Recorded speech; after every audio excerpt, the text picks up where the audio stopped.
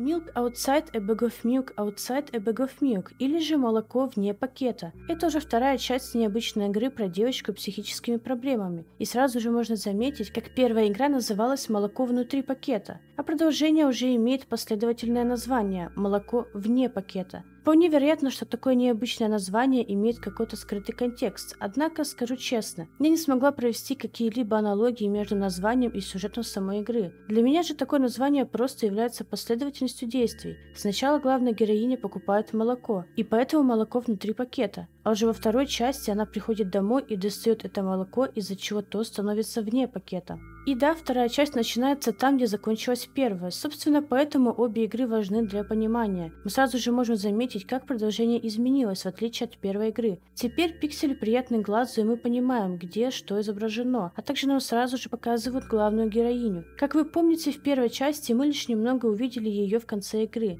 Теперь же мы постоянно будем лицезреть на Миоктян и все больше узнавать ее. Кроме того, в самом начале игры нас будет встречать анимационный ролик, вкратце повествующий о том, что происходит происходило в первой части. Его отрывки вы уже видели в предыдущем видео, но сейчас же я покажу вам его целиком.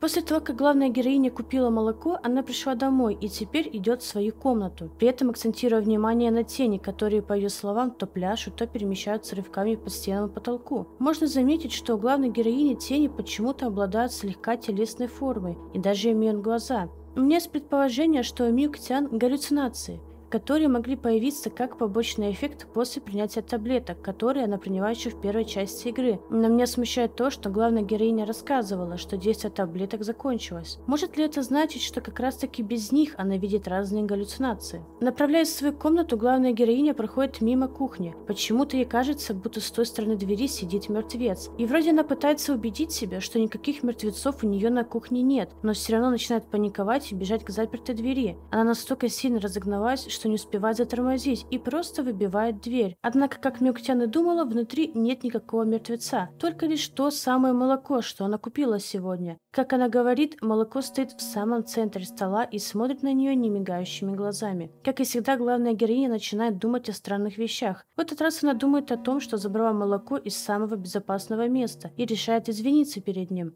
В итоге Милктян просто разворачивается и идет к себе в комнату, но замечает в дверях знакомое бесформенное существо. Оно вцепилось в главную героиню и начало обнюхивать. Сама же Мюктян понимает, что как-либо сопротивляться бессмысленно и просто терпеливо ждет. После того, как это существо обнюхало главную героиню, оно достало, как говорит Мюктян, единственный коготь, тонкий и острый, словно лезвие. На это главная героиня лишь спросила существа «Снова?»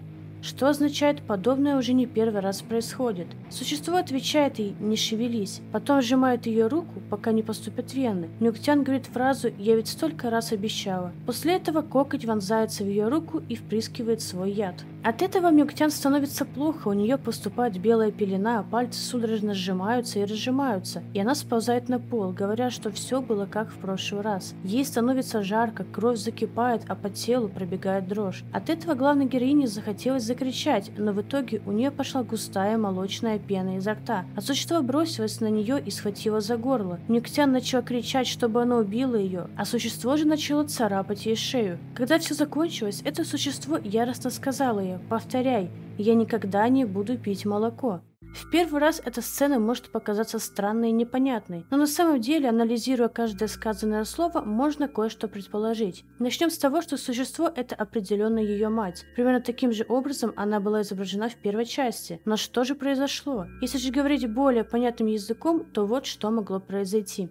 Нюктян зашла на кухню и выпила молоко. После этого ее поймала мать и стала проверять, пила ли она молоко. Когда она поняла, что дочь это сделала, то достала шприц с лекарством. Из слов главной героини мы понимаем, что уже не первый раз это происходит. Есть предположение, что у главной героини аллергия на молоко, и это лекарство, которое, очевидно, мать вводит ей через шприц, который Мюктян видит как коготь ядом. Я не разбираюсь в подобных лекарствах и с аллергией особо не сталкивалась, поэтому не могу точно знать. Но из этой сцены у меня появилась появилось два предположения. Либо это лекарство вызывает рвоту, и поэтому главной героине пошла молочная пена, или же молоко уже успело подействовать, и поэтому пошла пена. Но в любом случае, как мне кажется, мать пыталась помочь Миоктян, и она совсем не душила ее, а возможно каким-то образом помогала ей не подавиться этой пеной. То, что главная героиня должна пить молоко, понятно в конце этой сцены, когда мать заставляет дочь сказать, что она больше не будет пить молоко. Но по всей видимости, она каждый раз нарушает это обещание и все равно пьет его. Однако Однако не понимаю причину. Либо она так сильно любит его, либо же это такой способ покончить со всем. Это, кстати, единственный момент, в котором мы видим настолько близкую связь молока и главной героини. При этом у меня возникает еще один вопрос. Если дочери нельзя пить молоко, то зачем мать вообще покупает его? И зачем отправляла ее в магазин за ним? Но продолжим дальше.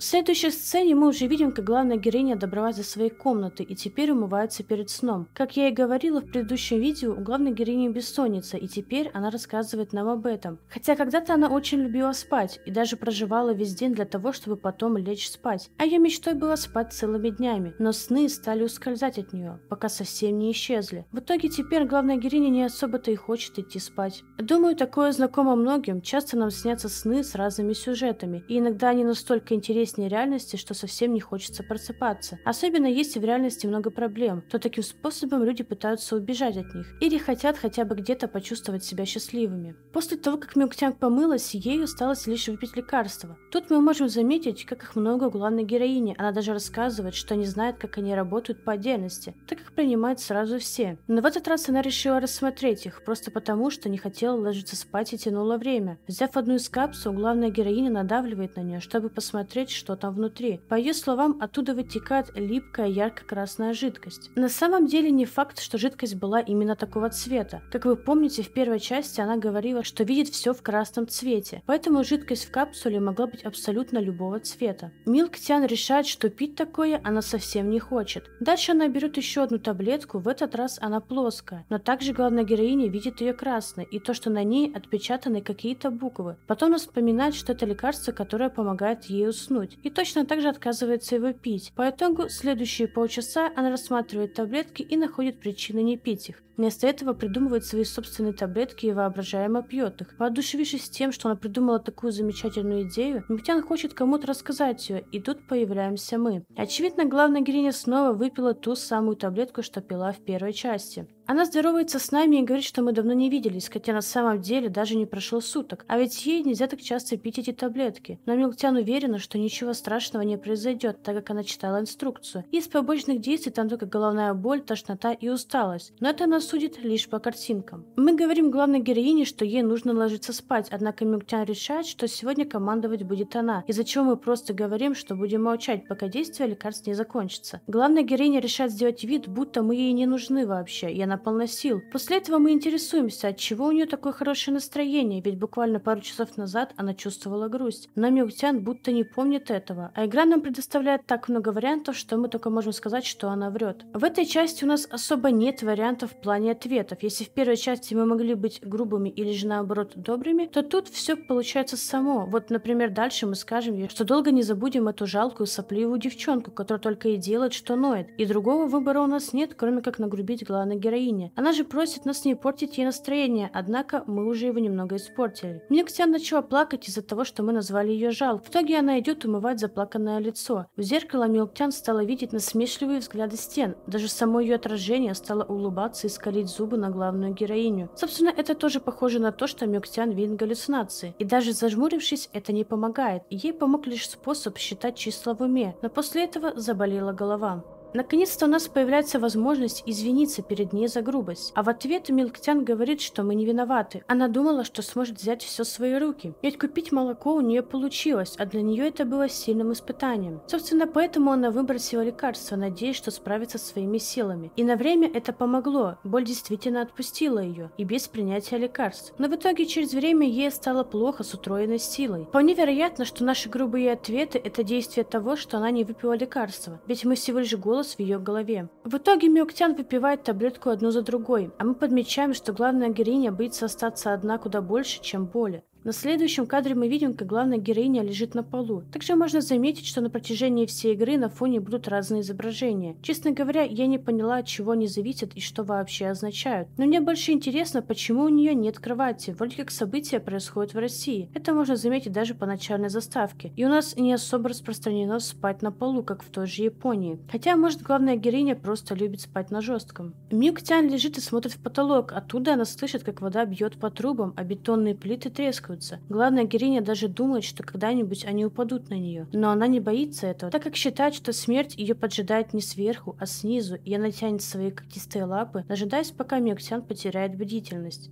Мы решаем поговорить с ней, но, видимо, ей хватило предыдущего диалога, поэтому Мелтян отказывается. Мы пытаемся хоть как-то поговорить с девочкой, но она просит нас помолчать, так как хочет привести мысли в порядок. И делает она это своеобразным образом, а именно извлекает мысли из головы и располагает ровными рядами на полке. В итоге потом она пытается собрать из них целую картину, переставляя их местами, но ничего не получается, и она смахивает их и начинает заново. Тут я хочу сделать паузу и немного поговорить об обсессивном обсессивно-компульсивном расстройстве. Еще в предыдущем видео мне написали комментарий, что у нее может быть ОКР. Изучая главную героиню, я также первым делом подумала об этом. Но проблема в том, что я не могу более доказательно сказать это. Было время, когда я читала об ОКР, так как предполагаю, что у меня у самой он может быть из-за навязчивых мыслей. Но я не была у врачей, поэтому не могу даже про себя точно сказать, что же говорить о персонаже. Если, например, я знаю, что у меня какие-либо мысли и даже какие-либо действия повторяются, то я не знаю, повторяются ли они у главной героини. Например, то, что она считает шаги, может быть показателем того, что у нее ОКР, но только в том случае, если она постоянно это делает. Но мы это видели только единожды. Сейчас же, например, мы видим, что у героини, скорее всего, присутствуют навязчивые мысли, из-за чего она пытается другим способом избавиться от них. Точнее, даже не то чтобы избавиться, а просто все спокойно обдумать и разобраться в своих мыслях. По крайней мере, как я читала, если есть навязчивая мысль, то нужно не убегать от нее, а наоборот спокойно обдумать все. Однако и в этом случае случае подобное действие мы видим лишь один раз. Поэтому я предположу, что у главной героини может быть ОКР. Но как вы видите, более точного доказательства этого нет. Но продолжим дальше. Мы предлагаем Милктян представить, будто ее мысли это тараканы. Главная героиня отвечает, что не любит тараканов и хочет, чтобы это были светлячки. Теперь же она видит, как мысли превратились в светящихся маленьких насекомых, которые кружатся по потолку. Главная героиня наблюдает за ними и ждет момента, чтобы поймать. Но этот момент все никак не наступает, и она снова злится. Мюктян встает и кричит на них. В итоге светлячки от испуга улетают в разные стороны. Мы говорим главной героине, что неуравновешенность ее совсем не красит, и что ей придется начать заново. Однако она все еще недовольна и не планирует снова заниматься этим. Кроме того, она просит нас больше не молчать, так как передумала и понимать, что без нашей помощи ей не обойтись. Дальше Мюктян решает, что их нужно найти, так как если она о чем-то задумалась, то нужно обязательно додумать эту мысль до конца, а иначе и она не договаривает. По своему опыту могу предположить, что иначе она попросту не сможет уснуть. На часах уже полночь, но Мюктян не может так просто лечь спать. Ей обязательно нужно найти светлячков, которые куда-то спрятались. Неожиданно мы решаем спросить главную героиню, о чем она думала, лежа на полу. Почему-то в этот раз мы не знаем об этом, хотя по идее должны. Как только она решает рассказать нам, картинка сменяется на то, как ее кто-то душит. И появляется странный диалог. Милктян рассказывает, что у нее чешутся глаза. И мы спрашиваем у нее, почему она плачет. В ответ она лишь говорит, что чешутся глаза. Дальше у нас есть вариант спросить ее, пила ли она молоко, или еще вариант спросить, принес ли он молоко. Однако, чтобы мы не выбрали, она начнет думать о том, что если вырвать все ресницы, будут ли чесаться глаза или нет. Тогда мы спрашиваем у нее, что она наделала. Она ответила, что ей надо собрать стекло, а потом принять ванну. Тогда мы предлагаем ей выпить молоко, и она начинает кричать.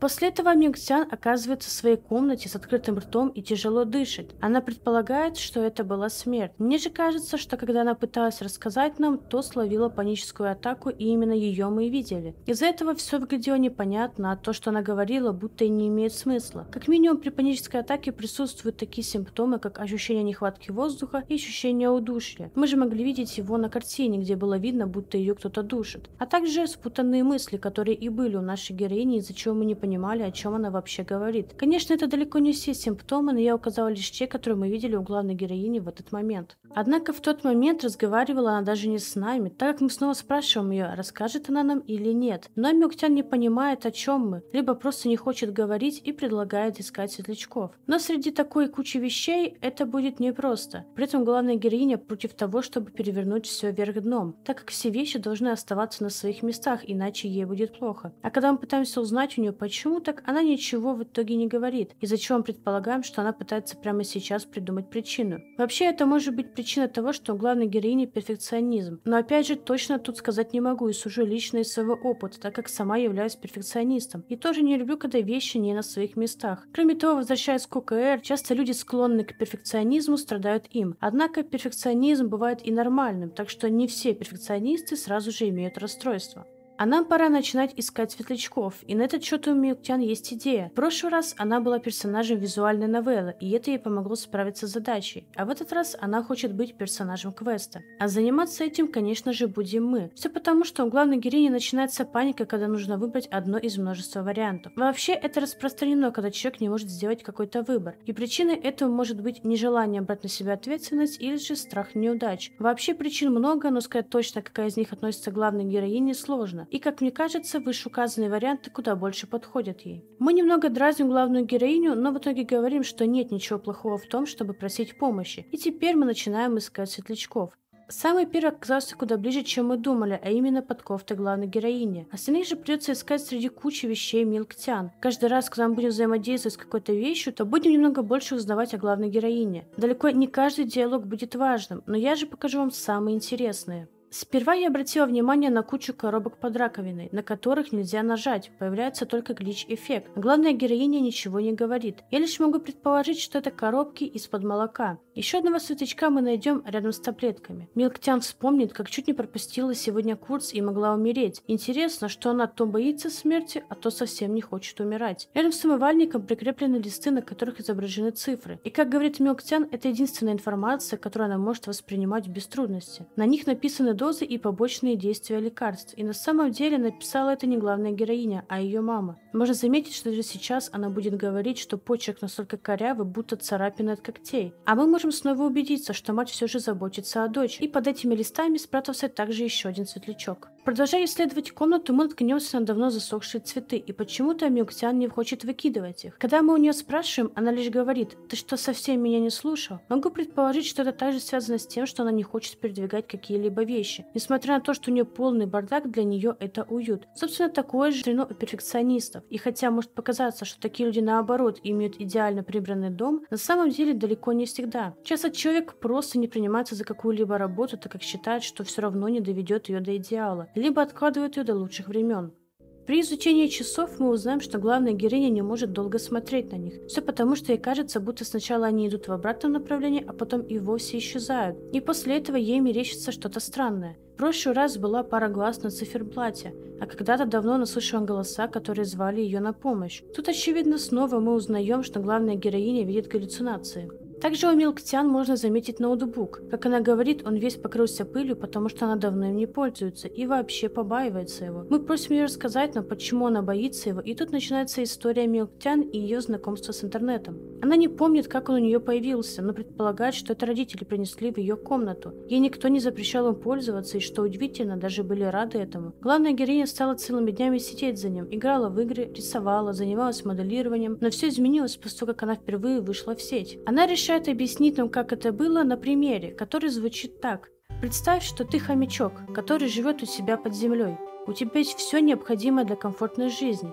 В один прекрасный день тебя выкапывают из твоей хомячьей норки и приносят в зоомагазин. Теперь клетка твой новый дом. Здесь гораздо удобнее и теплее, чем под землей. И самое главное, у тебя много соседей. Их клетки – копия твоей. Да и сами они копия тебя и ничем не отличаются. Кроме того, что были рождены в этом зоомагазине. И если вы не понимаете, о чем говорит Мелктян, то все нормально. Она уже и сама забыла, о чем шла речь. В этот раз она решает рассказать нам без каких-либо примеров. Так мы узнаем, что в сети у Милктян появилось множество друзей, а точнее 317. Из них 68 увлекались играми, как и сама главная героиня, 130 любили рисовать, так же как и она, а оставшиеся 119 увлекались калькулятором и трехмерной графикой. Дальше она рассказывает о том, что настоящих людей в сети не существует, и когда она отключала компьютер, все ее друзья в тот же миг умирали. Такое у нее сложилось мнение, потому что компьютерные программы — это комбинация чисел. Также она считает, что и люди там такие же числа. Мы решаем спросить у нее, почему она называет их друзьями. В ответ главная героиня рассказывает, что все, кто увлекаются тем же, что и она, являются ее друзьями, даже если они не знают о ее существовании. Сразу можно предположить, что все эти 317 людей были просто так добавлены ею, и она даже с ними не общалась. Теперь я понимаю, чем руководствуются люди, которые просто добавляются в друзья, но ничего не пишут. Видимо, они считают, что раз у нас общие интересы, то мы уже друзья. Главная героиня продолжает объяснять нам о том, какие люди в сети, сети. Мы узнаем, что для нее человек из сети – это просто рандомная картинка с набором слов. А слова и поступки такого человека – это программный код. Она рассказывает, что в сети однажды появился кто-то, кому удалось притвориться настоящим человеком, и в какой-то момент она позволила себя обмануть. Но тут мы перебиваем ее, так как увидели еще одного светлячка, который вылез из решетки ноутбука. Дальше мы извиняемся, что прервали ее рассказ и просим продолжить, но теперь она говорит, что расскажет только в том случае, если мы все сделаем правильно. И да, к сожалению, продолжение ее истории мы узнаем узнаем немного позже. А пока что я хочу сделать паузу и поговорить об еще одном возможном расстройстве, а именно об аутизме. Вы писали мне об этом в комментариях к предыдущему видео, да и я сама видела подобную теорию ранее. Вообще, после вот этого момента с тем, как она воспринимает людей в интернете, я тоже подумала об этом и пошла читать симптомы аутизма. Однако, эта тема оказалась очень сложной, и обычному человеку так просто не определить, есть ли у кого-то аутизм или нет. Многие симптомы очень распространены, как, например, то, что у человека проблемы с общением, и он не смотрит в глаза людям. Такое бывает у многих людей и по разным причинам. В общем, там было очень много разных симптомов, которые бывают и даже при других расстройствах. Конечно, были более явные, но чаще всего их замечают, когда ребенок еще совсем маленький. Даже то, что главная героиня любит, когда все на своих местах, можно приравнять к аутизму, так как больным с аутизмом очень важно, чтобы предметы были расставлены в нужном порядке. Это почти дословная цитата, прочтенная мной. Каких-то прям более выраженных моментов я не нашла у нашей героини. Поэтому я не буду говорить, что у нее аутизм. К тому же ее отношение к людям в интернете можно также отнести к тому, что у нее шизофрения. И вот тут уже куда больше доказательств, но об этом я поговорю позже.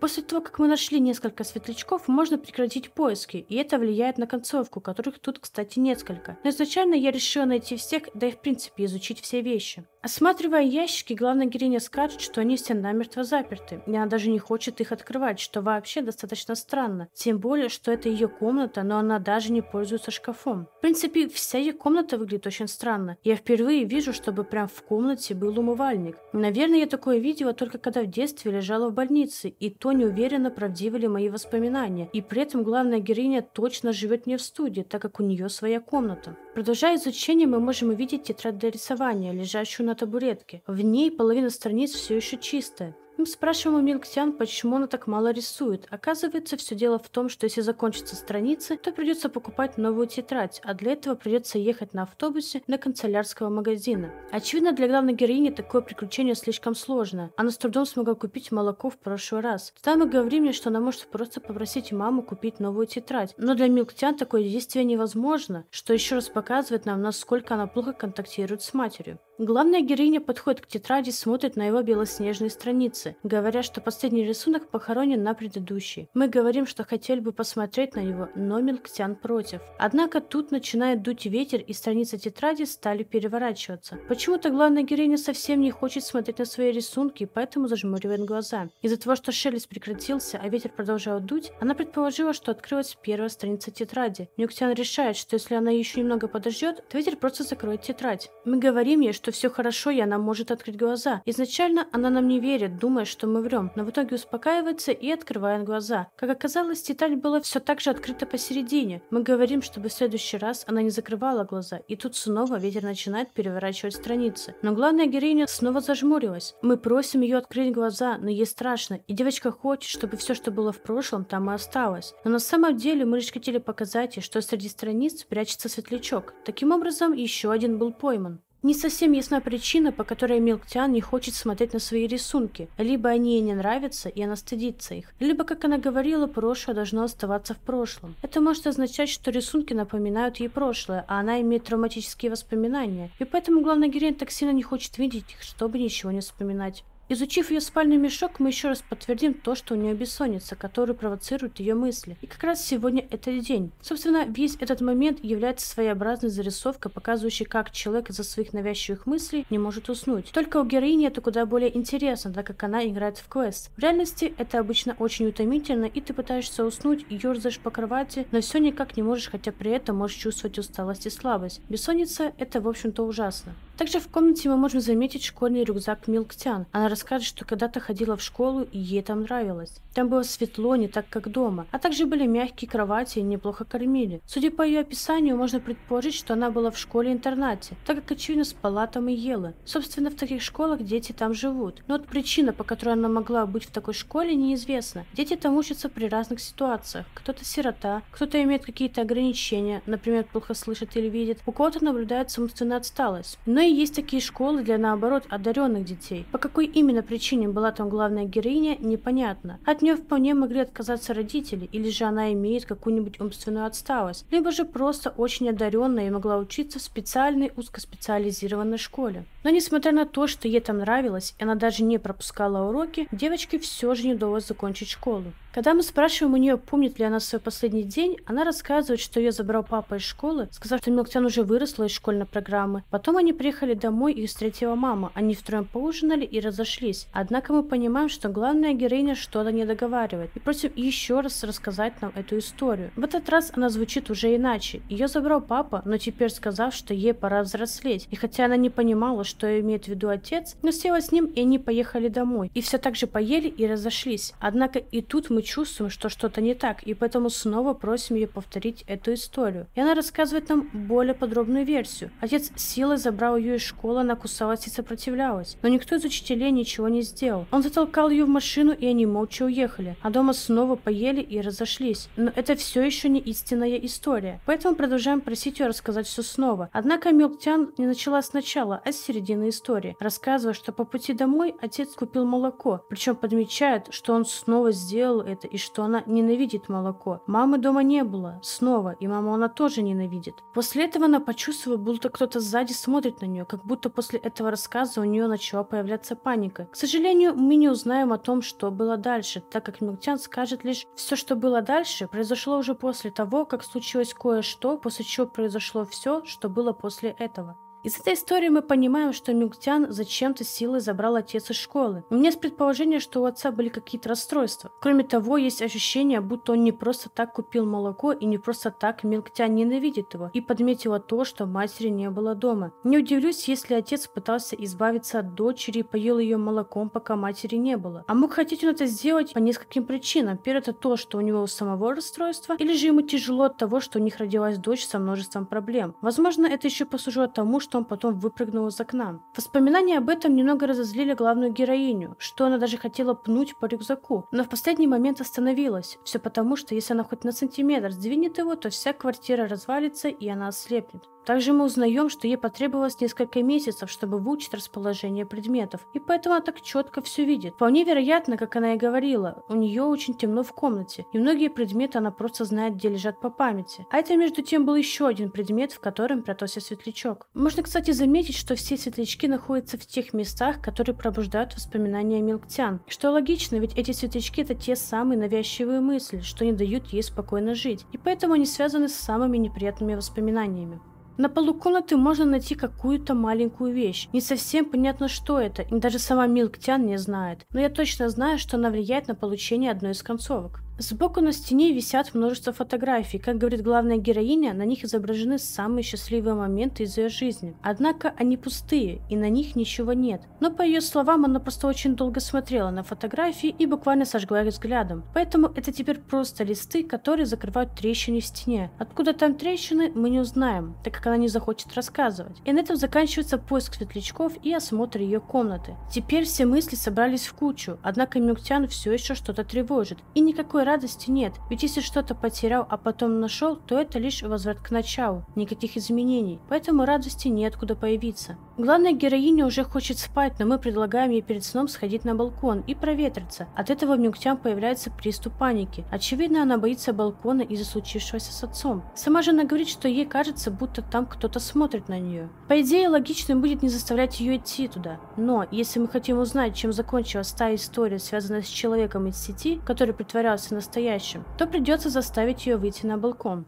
Выйдя на балкон, она начнет говорить, что ее дом похож на бездонный котел. И вместо копоти на его стенах сотни бетонных и железных коробок. Ее дом действительно странно выглядит. Когда-то дом уходил в разные стороны, но потом замкнулся, и теперь выглядит как какое-то кольцо. Мы замечаем, что главная героиня смотрит куда угодно, но только не наверх. Она в ответ скажет о том, что уже рассказывала нам. Потом камера поднимется наверх, и мы увидим огромный черный круг. Вероятнее всего, она говорит о той самой своей боязни буквы О. В предыдущем видео я уже предполагала, что, возможно, Возможно, она боится буквы О, так как она похожа на черную дыру. Сейчас же можно предположить, что у нее также может быть ассоциация и с Луной, так как очевидно над домом светит Луна. Или же она вообще боится всего, что имеет округлую форму. Главная героиня решила сесть на перила балкона, что очень опасно. Неожиданно начинает говорить, что ей кажется, будто бы весь мир притворяется ненормальным и хочет убедить ее в том, что на самом деле нет. А все вокруг будто создано лишь для нее, создано, чтобы обманывать и запутывать. Она предполагает, что если это действительно так, то на самом деле она не сумасшедшая. Главная героиня замечает, что иначе смотрит на какие-то вещи, но хочет надеяться, что это не она сошла с ума, а мир вокруг нее.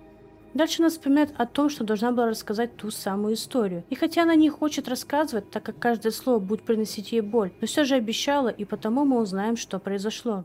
Она наклоняется вниз и мысленно начинает падать в пропасть, рассказывая нам о том самом человеке. Когда-то у нее был лучший друг в сети, даже несмотря на то, что его набор букв и пикселей на фотографии были совсем непривлекательными. Она говорит, что он будто бы нарушил правила нахождения в сети. Могу предположить, что до этого она видела там только тех, у кого были разные псевдонимы и картинки, установленные в соцсетях. А у этого человека было свое имя и своя фотография. Мы не понимаем, о чем именно она говорит, и хотя она могла бы рассказать нам об этих правилах, но не не хочет, так как боится, что сделает ошибку, и тогда все сказанное дальше будет уже противоречить ее мыслям. И она так может сама себя разубедить. Мы говорим, что по ее логике тогда лучше вообще никогда ничего не говорить. И узнаем, что Милктян мечтает ничего не говорить, не вставать с кровати, не видеть и не слышать. Она хочет лишь видеть сны. Мы напоминаем ей, что она отвлеклась от истории. Продолжая, Милктян расскажет, что этот друг заставил ее поверить, будто он настоящий. Расписывал чью-то жизнь в мельчайших деталях и выдавал ее за свою. Также он ждал, что и она расскажет ему обо всем. И, конечно же, главная героиня рассказала абсолютно все, ничего не утаивая. Таким образом, он стал тем, кто знал о ней все. Но в итоге он поступил ужасно. Натравил на нее сотни ботов. Генераторы текста и видеороликов принимаются за работу, и ее имя уже начинает всплывать в сети. И теперь она отовсюду ощущает пристальные взгляды множества глаз. Немного сложно из такой истории детально представить, что могло произойти. Но могу предположить, что главная героиня познакомилась там с каким-то человеком, который вполне себе мог притвориться хорошим и войти к ней в доверие. Тогда она рассказала ему все о себе, но этот человек воспользовался этим, чтобы просто посмеяться над ней. Видимо, рассказал многим, а то и вообще написал на какой-нибудь форум. И тогда же многие стали смеяться над Милктян. Насчет того, что в интернете были разные текстания, это еще понятно, но она также говорила и о видеороликах, и вот тут уже немножко сложно понимать. Если она не считала, что люди там настоящие, то вряд ли пользовалась вебкой. Если только отправляла этому другу какие-то видео. Но я даже не хочу думать, какие и что там могло быть. Ясно одно, одно, что после такого она могла потерять доверие к людям в принципе. И вполне вероятно, что ее мнение о том, что там не настоящие люди, может являться защитной реакцией. По всей видимости, этот разговор очень больно сделал Милктян, что она в своем воображении долетела до самого низа и описала, что ее тело разлетелось словно фарфор. По ее словам, это уже вторая смерть за сегодня, что опять же вероятно, что это могла произойти вторая паническая атака. После этого главная героиня вернулась в комнату и выдернула кабель из розетки, подключенный к ноутбуку. По всей видимости, она давно хотела это сделать, но почему-то не решалась. Мы спрашиваем у Милктян, что она будет делать. Конечно же, она планирует идти спать в надежде, что завтра наступит через год или даже через 10. И представляет, что она находится вне своей оболочки, но все еще остается собой, как молоко вне пакета. Возможно, это должно было мне натолкнуть на какой-то скрытый смысл названия игры, но нет, я все равно его не вижу. Минктян сообщает нам слегка грустную новость о том, что у нас осталось мало времени, так как таблетки перестают действовать и пить еще одну она не будет. И даже говорит, что не будет пить ее завтра и послезавтра и вообще никогда. Но прежде чем мы уйдем, у нее есть одна просьба, которую она боится сказать, так как думает, что может произойти что-то плохое. Когда она легла в кровать, то начала говорить, что ей грустно от того, что сны больше не приходят. И ей приходилось самой воображать их, из-за чего она очевидно не высыпалась. И так прошли бессонные недели, после которых она стала видеть всякое. Например, парящие парящие в воздухе буквы и странные силуэты. Один раз, по ее словам, она чуть не умерла, упала посреди комнаты и не могла шевелиться. А все эти силуэты, буквы глаза нависали над ней и осуждающе шипели. После этого она перестала заниматься таким, но от всякие силуэты все равно остались. Милктян все же хочет сказать нам о своей просьбе, но боится и показывает на пальцах. Мы понимаем, что она просто хочет, чтобы мы рассказали ей историю на ночь, но мы не знаем, как это делать, и говорим ей, что просто зря тратим время, и пусть лучше она закрывает глаза и спит. А дальше мы видим сон, который будет отличаться от того, какая у вас концовка. Изначально расскажу о сне, который самый первый попался мне. Картинка сменяется на знакомый фон, как в первой части игры. Нюктян просыпается на лавке где-то на улице, в месте, которое ей знакомо. Неожиданно кто-то говорит «ну наконец-то». Главная героиня поворачивается и видит перед собой мальчика, который говорит, что она опоздала. Но Милктян не знает его. Отчего мальчик даже удивляется и говорит «так мы далеко не уйдем». Он повторяет, что она опоздала. Тогда Милктян извиняется перед ним. Такой ответ его удовлетворил. Мальчик сказал, что его зовут Треска. И спросил имя главной героини, но Милтян не отвечает этому. Треска говорит, что главная героиня обязана проводить его в магазин. Милтян против этого, но мальчик стоит на своем и говорит, что отказ не принимается, да и сам не в восторге идти с ней. Билктян он совсем не нравится, по ее словам, треска странный, то веселый, то грустный, то громкий, то тихий, и имя у него дурацкое. Она говорит ему, чтобы он шел вперед, а ей нужно подумать. Но треска не знает дороги. Билктян говорит, что он ей совсем не нравится. Но в ответ мальчик лишь начал смеяться и сказал, что она, наоборот, очень даже нравится ему. После этого он взял ее за руку, и они пошли. Их поход до магазина проходил нормально, не считая того, как странно себя вел мальчик. То он быстро шел, то останавливался и шел назад, внимательно глядя себе под ноги. Дойдя до магазина, они видят вывеску, что он закрывается через 20 минут. Треска снова пытается хоть немного узнать о главной героине, а именно ее имя и возраст, но она снова отказывается отвечать ему. Зайдя в магазин, они умудрились заблудиться в нем, так как не знают, где продается молоко, и решают спросить у кого-нибудь. Тогда Треска подошел к одному из посетителей и сказал фразу «Здрасте, а можно?». Последнюю часть вопроса главная героиня не расслышала, как и ответ на него. А треска просто застыл как вкопанный. Милтян решил подойти к нему, и тогда посетитель с презрительной гримасой и отвращением спросил ее «Это ваш?» и попросил убрать его. Главная героиня хватает треску за руку и уводит, а тот все смотрит на посетителя с открытым ртом и выпученными глазами. Когда они отошли, то он успокоился. Мы спрашиваем у него, как это понимать. Треска отвечает, что он напугался. И потом закричал «Нет, только не опять!». Милктян прикрыла ему рот рукой. Треска ревела, а его лицо горело. Мы просим его вести себя нормально, но он лишь говорит, что мы не понимаем. Тогда мы объясняем ему, что ненормально приставать к посетителям. Мальчик называет ее злой и убегает. Главная героиня сходила в молочный отдел, взяла молоко и встретила его у кассы. Недовольные голоса начали кричать «Эй, шевелись!». Из-за трески образовалась большая очередь. Он стоит у кассы, смотрит под ноги и плачет, а кассир нависает над ним. Милктян снова спрашивают «Это ваш?». Она отвечает «да», и тогда ей говорят «в следующий раз оставьте его дома» и просят оплатить стоимость товара и издержку за ожидание. Тут треска начинает смеяться, тогда кассир говорит, что придется платить еще и за то, что ее сын придурок. Милктян разозлилась и бросила купюру куда больше, чем даже должна была. Схватила пакет с молоком и ушла вместе с треской. Всю дорогу они шли молча, но когда свернули к заправке, Треска решил поговорить и спросил у нее, любит ли она мороженое, на что девочка ответила нет. После этого Треска снова приуныл. Он свернул с тропы на автомобильную дорогу и сказал, «Похоже, ты мне совсем не помогаешь». Неожиданно Мелктян проснулась и заплакала, а дальше нам показали ту самую, по всей видимости, Луну и как она смотрит на нее, и таким образом заканчивается игра. Так и выглядит одна из концовок, которая не дает никаких ответов, а лишь кучу вопросов. И все концовки будут такими. Вообще мне показалось, будто все эти сны это либо прошлое главной героини, либо ее переживания, и будто бы каждый сон пытается указать нам на какие-то расстройства. Причем у каждой концовки они совсем разные. Если анализировать эту концовку, то может сложиться впечатление, впечатление, будто ей просто снилось, как она ходила за молоком. Но только во сне это обрело другую форму. Теперь она как голос в голове, который помогает мальчику. Но я также подумала, что это может быть еще более раннее воспоминание, когда она ходила в магазин с матерью. Предположим, что Милктян в своем сне это ее мама, а Треска это сама главная героиня. Тогда мы поймем, насколько тяжело было матери. Видно, что ее дочь не могла нормально общаться с другими людьми и ставила ее в неловкое положение. На то, что этот сон именно об этом, меня натолкнула фраза лучше бы вы оставили своего сына дома. Очевидно, у Милктян нет детей, но в ее сне это могло обрести такую форму. Также видно, как после похода в магазин Треска пытался говорить с ней, и когда она просто резко ответила, то мальчику стало грустно. Вполне вероятно, что главная героиня то же самое испытывала, когда, очевидно, мать была зла из-за подобных происшествий и просто резко отвечала ей. То, как вел себя Треска, натолкнуло меня на то, что этот сон как раз-таки может олицетворять расстройство Милктян. И именно тут, как мне больше кажется, подходит аутизм, так как видно, что ребенок не может спокойно контактировать с людьми, не спросить не может ничего. По крайней мере, как я читала, основным фактором в этом расстройстве считаются проблемы с социальным взаимодействием и коммуникацией. Но прежде чем делать какие-либо выводы, нам еще надо проанализировать другие концовки. Я не буду объяснять, что нужно сделать, чтобы получить ту или иную. В основном там зависит от того, сколько собрали светлячков, видели ли первую и вторую смерть. Если вам нужно, то в Steam есть руководство о том, как получить их. Второй сон начинается с того, что нам показывают, как главная героиня сидит вроде как на крыше дома. И на телефон приходит сообщение от пиццерии, где ей благодарят, что она выбрала именно их. И почему-то Мелтя начинает писать им так, будто это какой-то дневник, в котором она изливает душу. И вот что она пишет. «Знаете, здесь так пусто.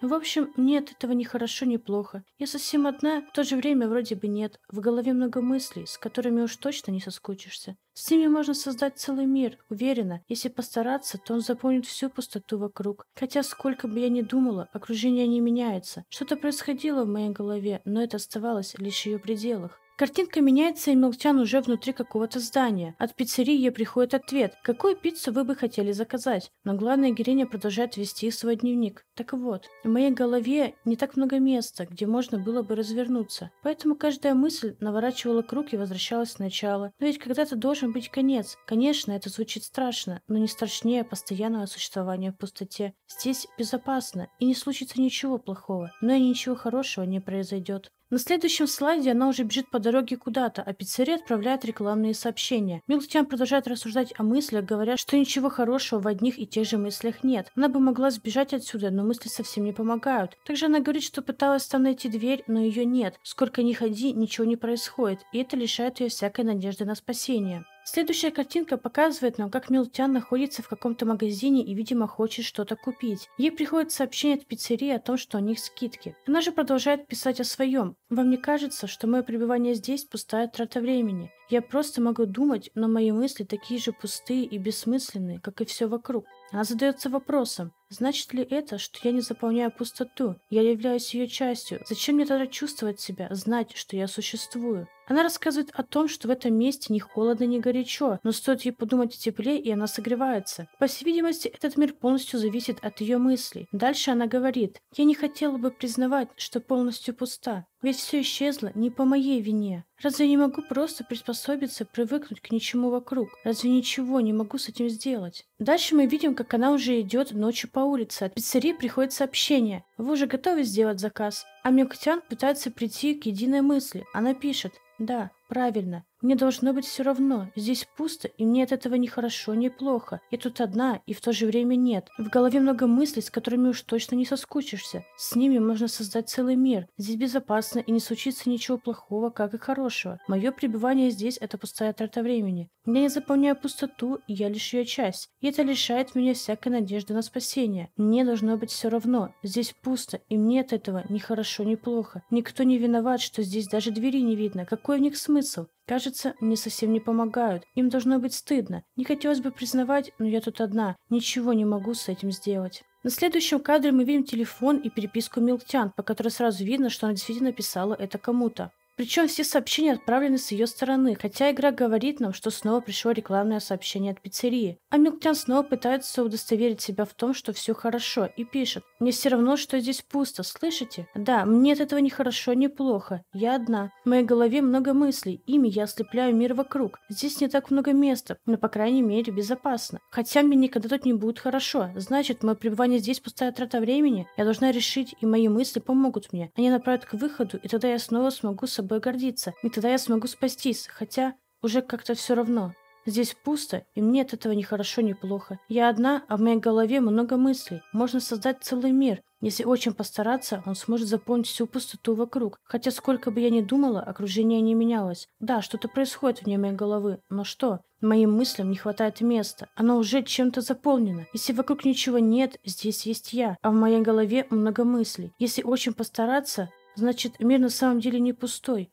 Я ничего не вижу. Картинка сменяется, и мы видим, как Милктян удивленно на что-то смотрит. Перед ней дорожный знак, означающий, что стоянка запрещена. Интересно, что почти такой же знак у нее на кофте, а на телефоне пришло сообщение «Время стекло, перезагрузите страницу». И тут она проснулась. Честно говоря, эта концовка уже в разы сложнее. Начнем с того, что непонятно, почему главная героиня вообще пишет пиццерии. Единственный вариант, который я могу предположить, так это то, что у нее шизофрения и, возможно, она думает, что общается с другом. Ранее я говорила, что как раз-таки шизофрения – одно одно из расстройств, очень подходящее нашей героине. Просто стоит взглянуть на симптомы. Бред и галлюцинации, что мы уже замечали у главной героини. Она рассказывала, как видит всякие силуэты, летающие буквы и глаза. К бреду можно отнести, например, ее мнение о том, что люди в интернете не настоящие. Еще один симптом – это резонерство. В Википедии описывается оно так. Например, анализируя пословицу «без труда не вытянешь рыбку из пруда», здоровый человек объяснит ее суть просто. Чтобы добиться какого-то результата, нужно приложить усилия.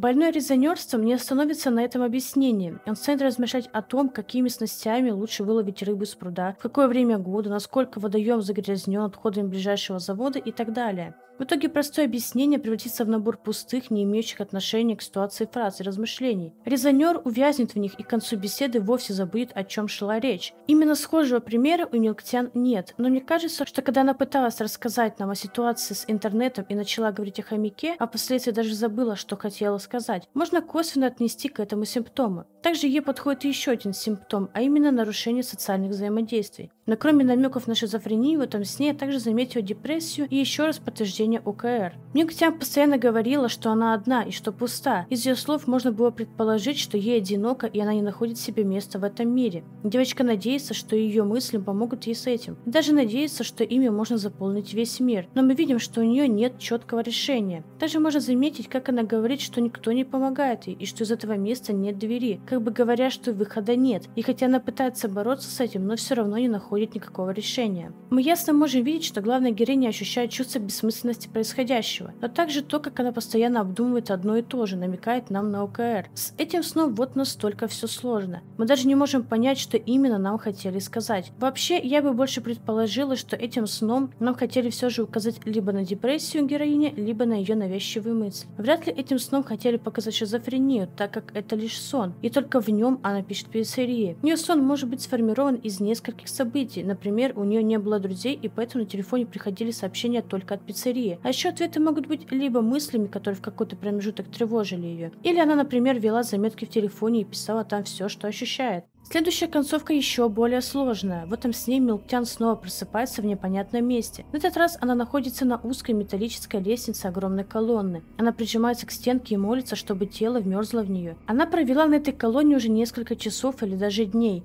и не знает ни ее высоты, ни того, куда она идет, вверх или вниз. Милктян считает, что скоро ей придет конец. Разум расплавится, а тело превратится в пыль. Стена царапает ей лицо, ступени под ногами гудят от ветра. норовя упасть вместе с главной героиней.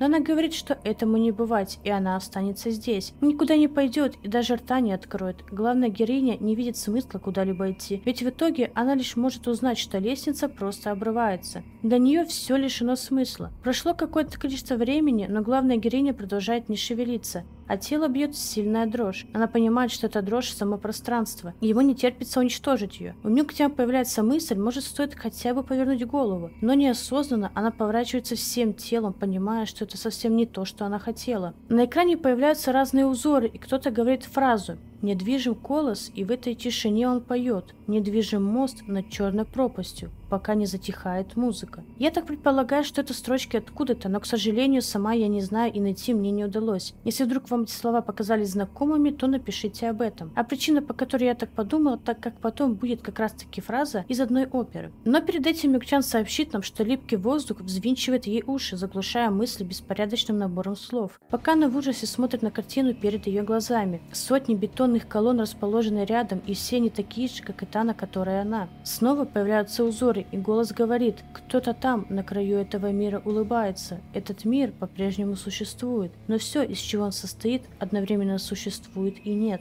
Эта фраза мне также ни о чем не говорит, а вот главная героиня походу считает, что с ней разговаривает какое-то сверхсущество. Она пытается поставить мыслеблок, но это бесполезно. Нюктян уже в его власти, и спустя время она понимает, что тело само двигается. Ей под силу лишь выбрать направление, вверх или вниз. А вот следующая фраза этого существа уже интереснее. Он говорит, толпа замечает кровь на руках Воцика. Он убегает, появляется Мендель. В нем нет ничего человеческого, кроме чрезмерной грации и скрытого изящества. Он выходит на середину сцены. Начинается первое действие. Начало этой фразы описывает момент из оперы «Вотцик». Вообще оригинальная была пьеса немецкого драматурга Георга Бюнхера, но она называлась «Войцек», а вот опера уже называется «Вотцек». Поэтому я и думаю, что разработчик именно на нее делал отсылку. Но только почему-то в этом тексте присутствует еще и Мендель. Но такого героя там не было. По всей видимости, у Мюктян просто все перемешалось. Все-таки это сон и часто снятся самые абсурдные вещи. Как мне кажется, эта фраза с отсылкой на Вотцика не просто так, и потом мы еще поговорим об этом.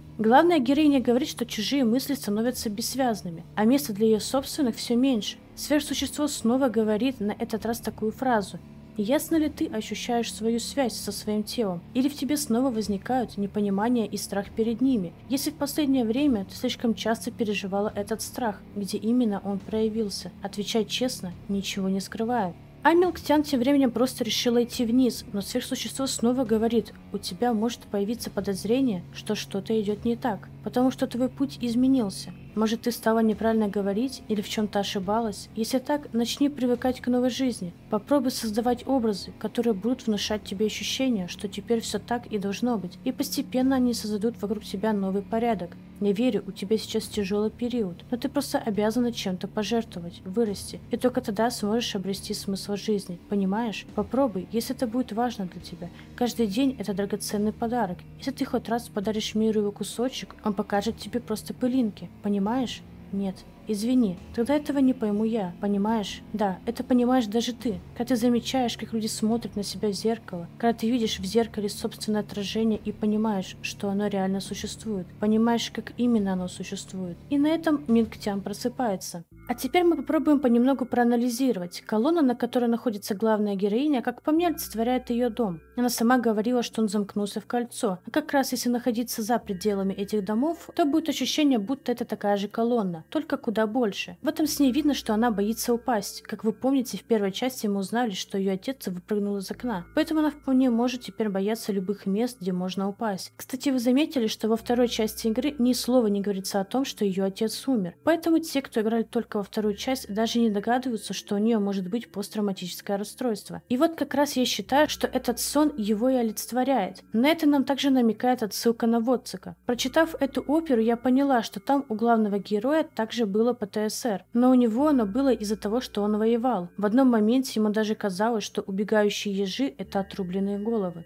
Также непонятные узоры, которые появляются прежде, чем начинает говорить какой-то голос, напоминают мне тест Роршаха. А ближе к концу то, что говорит этот голос, выглядит так, будто это немного искаженные слова ее психиатра. Так что вполне вероятно, что это сон совмещает в себе ее страх высоты, какие-то произведения, которые она читала, а также посещение психиатра. Ну а мы идем смотреть следующий сон, который тоже начинается с того, что Милктян просыпается. В этот раз в центре тесной комнаты на холодном полу. Вокруг нее ничего нет, комната голая, без какой-либо мебели. Все, что есть, это дверь, из-за которой доносятся страшные неразборчивые звуки. Она обхватывает колени руками и укутывается в кофту. Но это не помогает, все равно очень холодно. И хотя комната большая, у нее ощущение, будто она в тесном гробу. У нее возникает вопрос, хочет ли она знать, что там снаружи. И тут же за дверью издается нечеловеческий рев. Он становится все более громче, ощущение, будто что-то приближается к двери. Затем рев стал еще громче. Но лишь на секунду, а потом затих. Главная героиня решает встать. И после этого она снова слышит странный звук, но теперь уже над головой. Милктян говорит, что потолок медленно и со скрипом отдалился, а на нее посыпалась каменная крошка. Прищурившись, девочка тянет руку к потолку, но тот резко движется вверх и скрывается во тьме. Теперь главная героиня ощущает, будто находится не в гробу, а в колодце. Проходят часы, а она почему-то беспорядочно бегает от одной стены к другой, а те стремительно отдаляются, расширяя комнату. В итоге она оказывается среди тьмы, где есть одна лишь дверь. Милктян старалась избегать ее, пока жуткие шорохи и завывания изредка доносились снаружи. Но теперь выбора нет. Главная героиня медленно подходит к двери и протягивает руку, однако и дверь начинает отдаляться. Нюктян идет за ней с протянутой рукой, так как не хочет терять единственный источник света. Она решает сделать резкий рывок и схватиться за ручку, но дверь стремительно уносится прочь. Главная героиня падает на холодный пол. Девочка срывается и начинает кричать на дверь. Также начинает осознавать, в какой страшной ситуации она сейчас находится. Нюктян не прекращает кричать ни на секунду, так боится остаться в полной тишине и считает, что если исчезнет все реальное, то за дело возьмется ее больное воображение. Неожиданно из-за двери кто-то говорит «Эй, я тебя слышу, я здесь, подойди же». Главная героиня начинает еще сильнее кричать, аж до боли в горле. Она боится потерять контакт с этим человеком. Милктян срывается с места и спотыкаясь бежит к двери. Так она бежит минуту.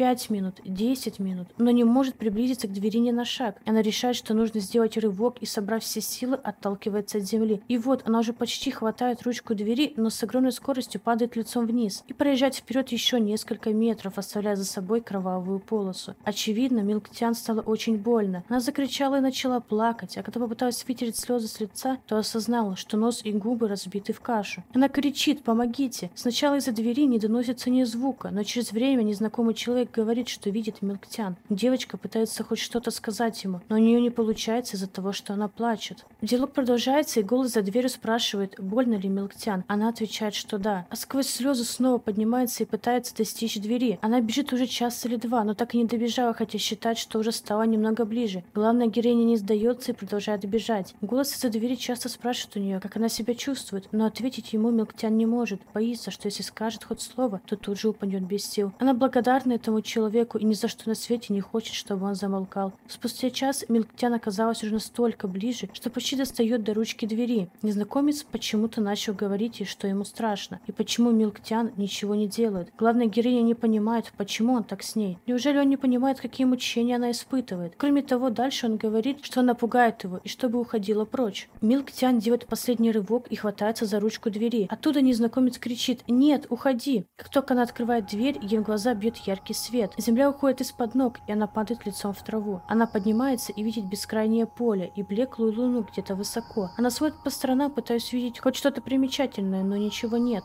У главной героини кружится голова, и она снова оказывается на траве. Но теперь перед ее глазами небесная тьма, а не обычная. До нее доносится неразборчивое эхо. Милктян думает, что может это волк или еще кто-нибудь, но не волнуется, ведь она в траве и ее не видно. Тут она слышит, как кто-то кричит.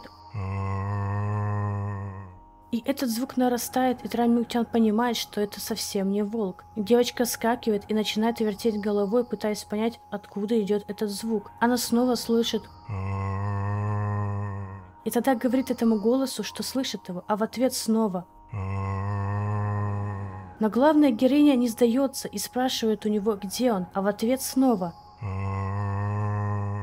Мюктян не знает, в какую сторону, если что, бежать, и вообще стоит ли бежать. Она считает, что этому человеку больно, и он хочет, чтобы его нашли. Главная героиня решает пойти в ту сторону, где, как показалось, она слышала этот звук. Но есть проблема. Вокруг ни деревьев, ни камней, лишь бесконечное поле. Резко издается оглушительный и болезненный вопль. Милктян стало страшно, а вопль тем временем превратился в плач. Подняв голову, она видит, как вдалеке среди густой травы виднеется силуэт. Милтян говорит ему, что она видит его, но силуэт продолжает стоять. От него издался лишь тихий звук. Главная героиня спрашивает, больно ли ему, но от него лишь снова неразборчивые звуки. Девочка подумала, что может темное пятно это дерево или камень, а звуки издает ветер, и в итоге пошла прочь. Пройдя сотни шагов, она обернулась и удивилась, что пятно не стало меньше. Тогда она решает слегка бежать. Внутри нее начинается паника. Почему этому полю нет конца? Конца. Теперь Мюктян не оборачивается, она знает, что она преследует ее. До ее ушей начинают доноситься более громкие и отчетливые странные звуки. Устав от бега, главная героиня останавливается и слово слышит этот жуткий голос доносится прямо у нее за спиной. Она поворачивается и пытается инстинктивно защитить лицо руками, но не удерживается и падает на землю, словно слыша этот звук. Но резко встает и видит, что силуэт стоит на том же расстоянии от нее. Она говорит ему, «Мне же страшно, почему ты ничего не делаешь?» И после этого силуэт начинает дрожать, а затем медленно идет в ее сторону. Сопровождается все это хрипами и стонами. Девочку сковал страх. Она просто стоит и смотрит, как силуэт приближается. Теперь она говорит ему, «Ты меня пугаешь, уходи уходи прочь. После этих слов пятно стало больше, а через секунду большая часть неба и поля поглотил мрак. В итоге девочка начинает убегать. По пути она падает, но все равно встает и бежит. А если что, все так же продолжает кричать этот звук. Мелктян кричит ему «Нет, уходи!» Неведовая сила с хрустом поворачивает ее голову и все заполняет мрак. Дальше сон будто снова повторяется. Но тут просыпается Мелктян. Этот сон для меня оказался самым интересным и самым сложным. Я не могу предположить более точно, что он может означать. Сразу понятно, что это кошмар, который, вероятно, затрагивает страхи героини. Например, она, вероятно, боится замкнутых пространств, а также темноты. Вообще, анализируя эту концовку, можно заметить, что сначала Милктян нужна была помощь, но ей никто не помогал. А дальше уже кому-то нужна была помощь, но она не помогала этому человеку. И Милктян даже говорит те же слова, что говорю ей голос за дверью. Из всего я могу лишь предположить, что, например, когда-то родители закрывали закрывали ее где-нибудь из-за плохого поведения. Такое распространено, и вообще, очевидно, это не очень хорошо влияет на ребенка, и ему страшно находиться в закрытом темном помещении. А вот насчет поля сложнее. Можно, конечно, предположить, что родители когда-то пытались оставить ее где-то в поле, типа, чтобы избавиться от нее, но это как-то уже слишком жестоко. Все же мать Мелктян мне не кажется плохой. Ну или же вариант, что она когда-нибудь терялась. Но, к сожалению, я мало что могу сказать про этот сон, но мне он больше всех понравился. Вообще хотелось бы отдельную игру с подобной атмосферой. Если если у вас есть какие-то предположения насчет этого сна, то пишите в комментариях. Может вы смогли заметить у этого сна какую-нибудь связь с расстройствами. И пришло время последнего сна. Начинается он с того, что Милктян смотрит в зеркало на свое отражение и говорит, что утро добрым не бывает. Ей не нравится, что у нее всегда такое дурацкое лицо и боится о том, что подумают в школе. Ей не хочется быть неудачницей в первый же день. Милктян успокаивает себя, говоря, что нет ничего плохого в том, что она выглядит не как остальные. Тут мама говорит ей, что пора поторопиться. Картинка меняется, и Милктян снова смотрит на себя в зеркало, но в этот раз у нее не просто какое-то уставшее лицо, а теперь один глаз очень сильно выше другого. Текст никак не меняется, она говорит точно то же самое. Снова новая картинка. Теперь Милтян видит себя с длинной, завернутой шеей. Как вы понимаете, текст меняться не будет, но зато каждый раз Милтян будет видеть себя иначе. Дальше она увидит себя с дыркой вместо лица, потом с растрепанными неподстриженными волосами, потом вообще возле нее будет стоять еще одна она, но с черными глазами. Дальше у нее вообще глаза будут вытянуты вниз, то их вообще станет 8, допустим, потом не будет всей головы, и уже на предпоследней у нее просто не будет глаз, нос и рта, и текст уже поменяется. Она скажет, что у нее прекрасное настроение, и она не может дождаться первого дня в школе. И в самом конце она просто будет видеть свою спину, будто бы не хотя смотреть на свое отражение, и на этом закончится сон. Конечно, после предыдущего сна этот куда проще, и очевидно, что он намекает нам на низкую самооценку главной героини. Видно, что ее не устраивает своя внешность, и она видит, что отличается от других. Это вызывает у нее навязчивые мысли и страх, что она не понравится одноклассникам в школе. Можно заметить, что плохих мыслей у нее нет только тогда, когда она смотрит в зеркало и не видит на себе ни глаз, ни носа, ни рта. Можно предположить, что именно эти места ей в себе не нравятся. Даже во всех вариациях лицо либо исчезало, либо как-то менялись те же глаза. И на этом можно закончить анализ игры. Какого-то точного вывода в конце я сказать не могу. У Милк Тиан много разных симптомов, указывающих на совсем разные расстройства. И сказать, что, например, она 100% имеет шизофрению, я не могу. Даже врачи не могут сразу же определить проблему у пациента. А тут у нас просто скорее небольшой анализ. Кроме того, никто не отменяет этого факта, что у нее может быть все и сразу. Ведь многие расстройства могут быть одновременно и никак не отменяют друг друга. Кроме того, я могла даже не привести в пример какие-либо расстройства, так как говорила лишь о тех, которые сама знаю и которые, как мне кажется, могут быть у нее. По итогу лишь могу сказать, что у главной героини могут замечаться такие расстройства, как аутизм, шизофрения, ПТСР и ОКР. Наверное, единственная претензия к этой игре, так это как раз таки огромное количество разных симптомов. То, что разработчик принципе уделил внимание расстройствам и таким образом показал их, то это очень хорошо. Но, как мне кажется, было бы идеально, если бы за основу бралось одно расстройство, и оно раскрывалось всю игру. Но я заканчиваю с разбором этой игры. Я не знаю, делает ли разработчик третью часть, и вообще будет ли она когда-то. То, что Мюктян в самом конце отказалась пить дальше таблетки, будто бы намекает на полный финал, но кто его знает. А с вами была Пандора. Не забывайте подписываться на канал и на паблик ВКонтакте. Пока-пока.